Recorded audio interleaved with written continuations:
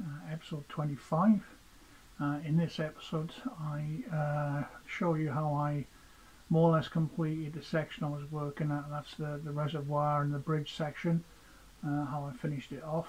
Um, it's taken me a couple of days to do it because as you all know you have to wait for bits to dry um, before you can move on to the next bit. It's still still waiting for the water effects to completely dry out so I can um, dry paint over it but it's more or less as I want it. Um, I've also um, been working on the uh, the upriser um, and doing a bit of ballasting. Uh, and but there I've got there. I've got there. Finished that little section for now. I'm quite happy for that. I can now continue the the mine rail further on. Uh, but then I've got to come back now to uh, do this bit here uh, which be the next uh, main section is going to be a biggie uh, because I need to create a mount in there. So uh, any suggestions you've got for how to do it what's the best way to do it what I need to be able to do I need to be able to take this bit away so I can get under underneath and clean the track and there'll be a farm a what farm on top of that with a uh, farm with cattle and fields and things on top there? Um, so I need to be able to get that top one this incline and the ones underneath so it's going to be something that's going to have to be lifted off completely in one bit put to one side going to need to clean it and then drop back in. Um, but that's uh, for future episodes. But until then uh, I hope you enjoy the video. Uh, I hope you, you uh, enjoy what I've done. Please any comments you've got please leave them at the end. Uh, I'm more than happy to take any advice uh, anything that's positive or negative. I'm quite happy. Um, but yeah, I hope you enjoy what I've done. And uh, for now. Keep safe. Diolch fawr okay so I've added uh, water effects into the reservoir uh, making that waterfall a bit more realistic a bit more movement in the water.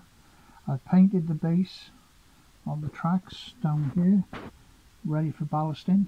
Um, I'll crack on with that in a minute. Um, I've also added some effects to the rock. Uh, just some changing the color a little bit. I've just got to highlight uh, put some grass onto there and I've painted the first bit of the riser again. I'm going to ballast that all the way up to there. So that's where I am at the moment. Uh, I've also put a bit of uh, scenics down the bottom end. I'll show you that another time. Uh, once I get this done and get the ballast done and glued I can get the bridge in place and this section will be finished. Then I can move on to um, doing the rest of the ballasting and getting this uh, fiddle yard sorted out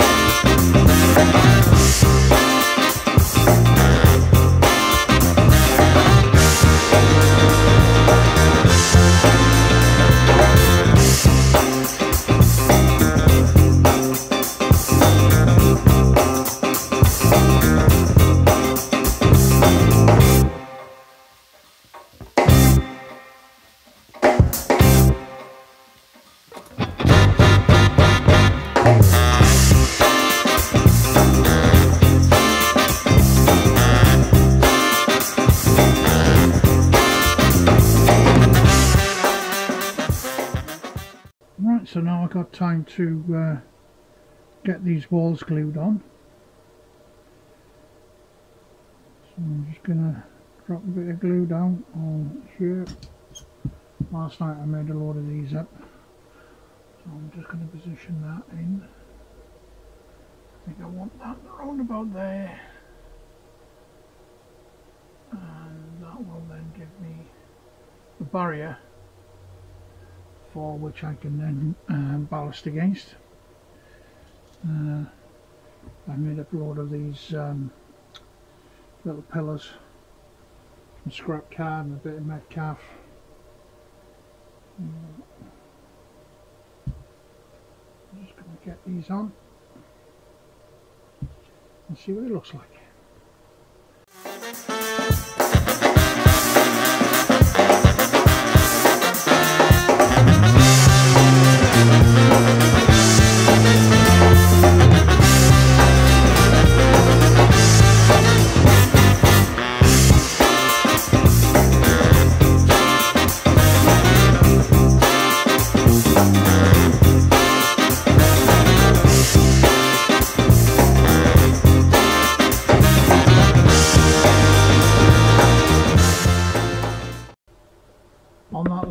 Just glued down there. Uh, you'll see uh, it just there's a little gap between there because I need to slide a piece of wall in there. So I've just left that there and then I'll put, finish that off with a, another pillar. But looking good. Um, yeah I'm quite happy with that.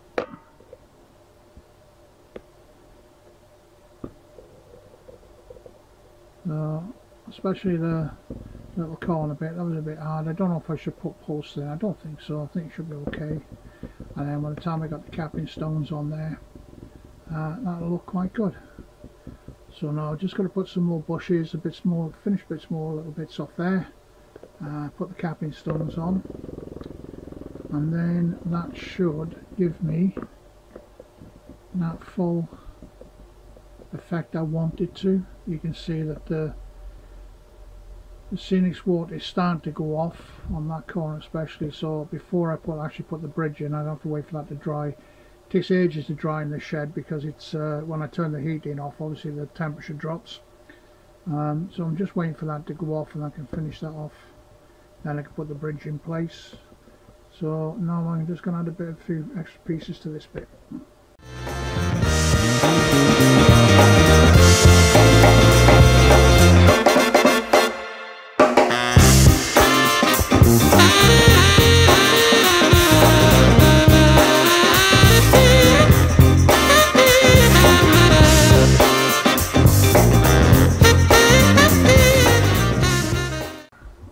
so now that's starting to look a little bit more authentic with the ballast down. I can't do anything about the stitch points, but um, it is what it is. And yeah, coming all the way down to the tunnel entrance there. So what I'll do, I'll just show you the image of the the bridge in place, so you can see what the effect is. I'll just grab it now and put it in.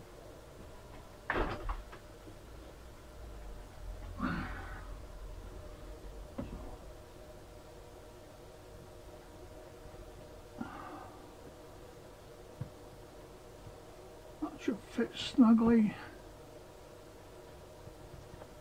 onto there and down and down and down. And uh, yeah so you can see. That's the view the passengers will get. Not the view of the tins but yeah. And you can see this bit here now where it's uh,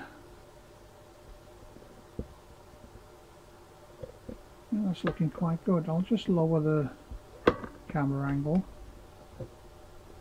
so we can see a better angle from down here.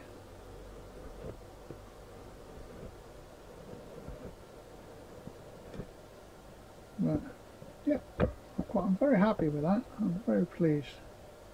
Looking good. So I'll just lift off that the bridge there again. That's going to be covered with a bit of uh, wall, bit of plywood with some wall on it. Uh, and then I've got the rail to add on there. And uh, this job's finished. capping stones next. So getting another view. This is the track lining a crossover coming up to the side there and onto the tunnel and through into the main mountain. Three more additions onto that. Get the bridge in place once that glue has dried completely. Uh, the water effects. And get the wall in place there. And then the next job is to create the sides of the mountain. Um, there'll be a road running underneath that coming down. And I've started on this side now. So I've started to create what will be the, the, the, the face of the mountain with the two tunnels there. Um, and then I've just got to create a bit of a, a structure over here so I can uh, wrap around and I want need something that's going to have to come on and off so I can get to the tracks for cleaning purposes. And then I've got to um, build a bridge. That's roughly what I want it there so that uh, the road service road can come over the bridge and down follow and go through underneath there.